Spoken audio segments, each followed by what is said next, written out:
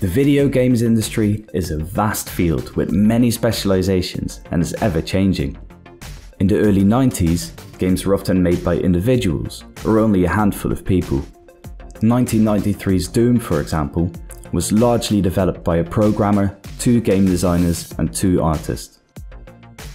This meant that a lot of responsibilities like level design were often handled by the game designers or spread across the team.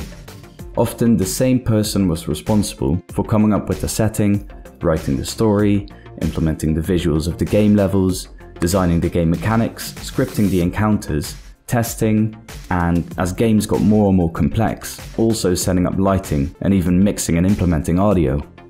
A level designer really took full ownership of the level and did it all themselves. From the early 2000s onward, the big budget game projects became more and more complex to a point where one person owning all of the level pipeline became unsustainable. Nowadays, it's usual for a dedicated writer or story focused game designer to handle the plot and narrative progression.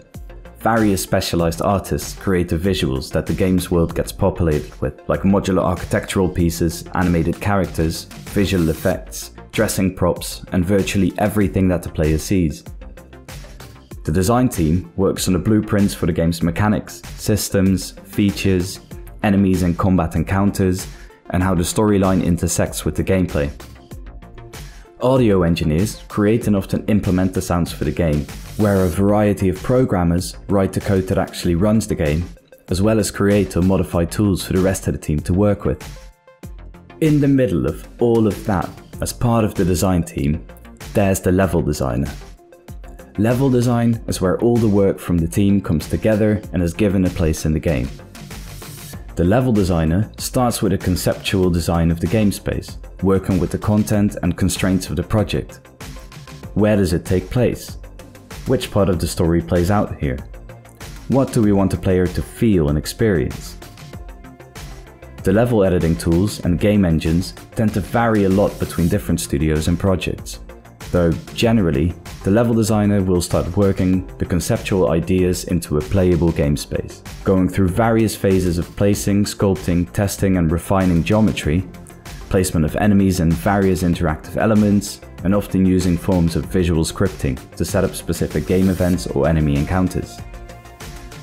The specific requirements for a level designer often change depending on the project and studio as well.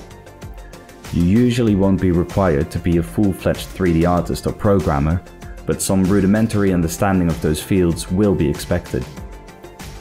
Your main responsibility is to design and create playable spaces for the player that are fun, challenging, exciting, and get the most out of the game's story and mechanics.